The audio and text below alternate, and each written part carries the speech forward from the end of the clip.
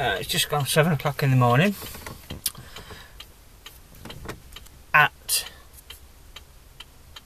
five fifteen, I wasn't working this morning. However, at five twenty, I received a phone call. Woke me up out of my sleep, which is never good to be woken up out of your sleep. Um,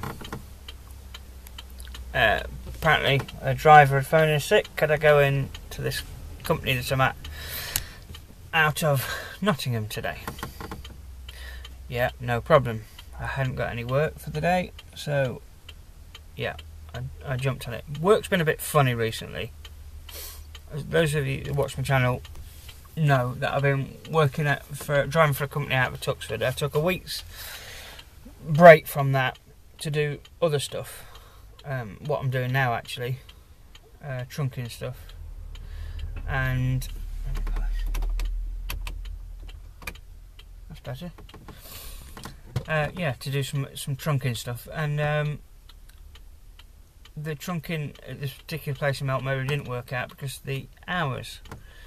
Um, was ideally located for me, but it, it, anyway, it just didn't didn't work. However, when I went back to the agency, obviously, I, I, don't I don't know if something's happened between the agency and the client, but they're not supplying them with drivers anymore. So I'm uh, without that regular work, which was for me fairly local. I wouldn't say it's local, but it was convenient to get to because it's straight up the A1 for me. Um, so it, it only took me half an hour tops to get there. So um, yeah, so that Uh, I'm not doing that now. And last week I only got one day's work, um, partially because I, I was ill and I didn't, and I was tired, so uh, I needed the week off. Uh, so I didn't pursue anything. But I, I only got one day's work. But it's coming up to Christmas. I got bills to pay. Gotta work, work, work every day. So I need to get back to work. Um, I went worked for a, a, company out of Alfreton yesterday. Had a great day. Went up to Huddersfield, uh, Barnsley, and back back again. That was uh, trunking work. So yeah, everything went how it should have done yesterday. So today, like I say, um, I didn't know I was working at till twenty past. Went dragged my carcass out of bed, went straight there, and I'm in that lorry now, and it is.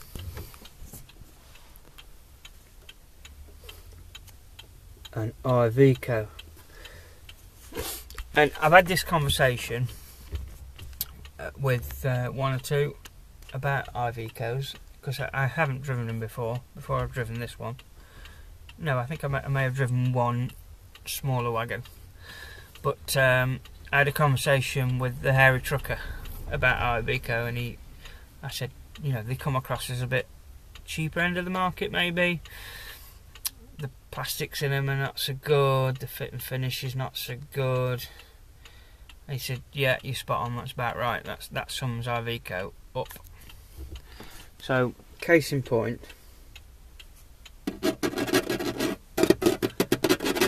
that feels quality, don't it? I mean, look at the switch gear. None of it lines up. It's all flaking off. It just doesn't smack quality at all.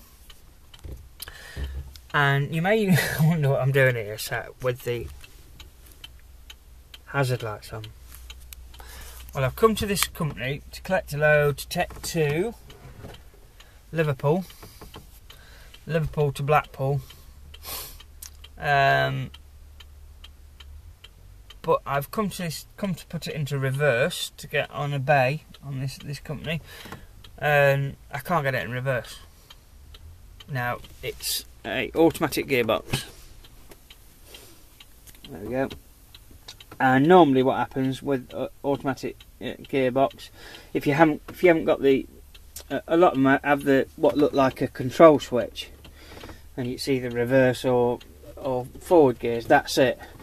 Well, on this particular uh, this particular truck, you've got a little button just here, which is your neutral button, and then your shifter button, which is there. Now, on some of them, you, you, you click it into reverse, hold that in, pull it back, it'll go into reverse. Or some of them you have to pull both of them in, pull it right back. But that was on the semi-automatic trucks. Um, I've tried putting my foot on the brake, put my foot on the brake, hold the button in, pull it back, hold it for a few seconds, but still nothing. It's just not going into reverse. And it might still turn out to be me being a bit ditzy, but one of um, the other drivers from the firm is on site, uh, drives an artic, and I said, "You just come and have a look, see if you can put this into reverse." And he was sat in it for five minutes, and he's an experienced driver, couldn't get it into reverse. So I, I feel a bit better the fact that somebody else can't get it in reverse. The fitter's coming out to me, and he might literally say, "Oh, you've got to press that," but I don't know. I, I can't see what else to press. I have no idea. The lever doesn't press down. It doesn't pull up. There's no other switch. There's nothing on the dashboard that says. Even the you can control the semi, put it in semi-automatic, and control it by this lever. But I can't even get reversed that way. There's no way. I just can't get reversed. So it could be a genuine fault. But yeah. So we'll, we'll see. But this Iveco, you are not making your good first impressions with me. For one thing and another. Um, I couldn't get the seat adjusted this morning. It, it won't go up or down. So I've had to put the. I don't know if you can see the steering wheel. It's quite far forward. I mean, it, I can drive and it's okay and it's perfectly safe. It's just not as comfortable as you'd like when you're going on a long haul. So that's another black mark against it. The, the levers for the for the seats just don't work at all. There's nothing there. So yeah, um, you can slide the seat backwards and forwards, which is I've had to slide it forwards to reach the pedal because I'm, I'm five foot ten, something like that, five foot eleven. So I'm not I'm I'm not massively tall. So I, I have to sit fairly close, I guess. But yeah, so the steering wheel's ran right forward. So yeah, we'll have to see what happens. But yeah, that's the Iveco. The other other driver's gears in here because I, I, guess he intended on working until he phoned in sick. It's quite a high cab on this. So, yeah. I don't know, is this the fitter? No, it's not the fitter. I thought that would be quick. But yeah, yesterday it rained all bloody day. And I got wet boots. I'm, I'm gonna need some new boots. I've decided them boots are rubbish because I think what it does it, it sucks up water. The soles, there's part of them just worn away, and couple of the, the lumps and bumps, and it sucks up water. They're not they're not a solid uh, sole. So I'm gonna need some new boots. I mean, an old pair of uh, catering shoes. I mean, they've got anti-slip, the steel toe cap, waterproof. Uh, and they're actually better to drive in than them other boots. I can feel the pedals better. But yeah. So, but yeah, it rained all day yesterday, and it really gets to you after a while. Just persistent. But it was a good day.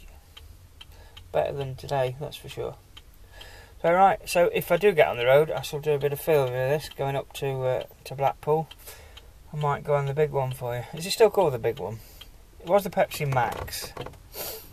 Then it was the big one. It might be renamed again. I, I don't know. I've not been to Blackpool for a long while. When I, I lived in the um, the Caribbean, my girlfriend that was then, she's my wife now. she loves theme parks, and because there's no theme parks, well, on the particular island we lived on. Uh, in fact, there was not even a bowling alley on the island we lived on. So, and she loves theme parks. So when we come home uh, for a visit, she dragged us round. We went to Thorpe Park, uh, Drayton Manor, American Adventure. And when that tells you when it is, American Adventure's closed now. Um, went to Alton Towers and Blackpool Pleasure Beach. I honestly, I got so fed up with going to theme parks. Um, yeah, and that's the last time I went on that. I think it was called the big one back then. So yeah, I'll take you a ride on the big one. right, catch you later. Bye bye.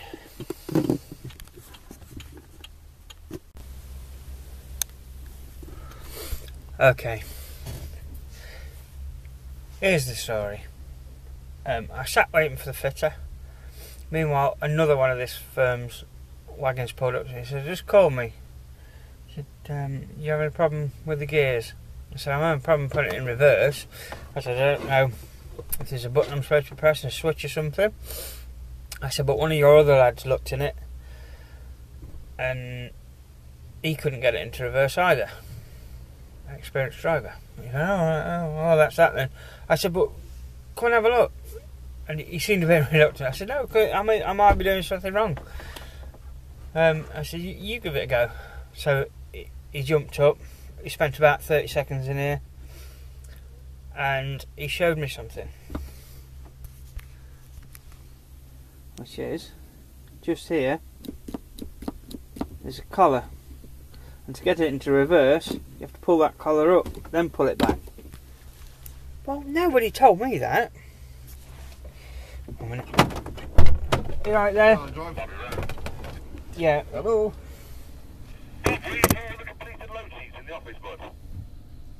They're next to Maria's desk.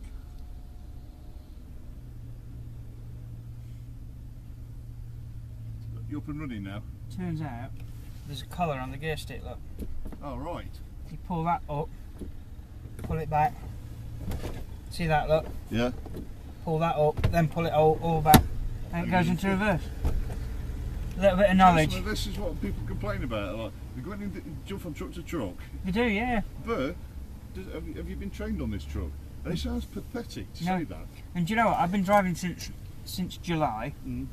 and I've come across all sorts of gearboxes. And everybody told me when I got into this, oh, everything's automatic now. Well, they're not. I, No, I- still got manuals, or semis. yeah, semis or four over fours or, or you know, range splitters, all that. Yeah.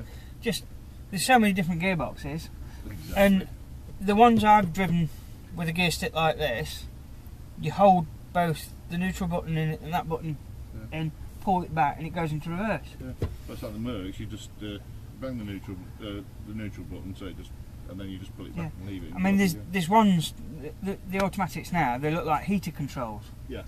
you just click it over into neutral. That's Yeah, it. exactly. You know. Right then, let's go and get your paperwork set up and Okay. you're on the way.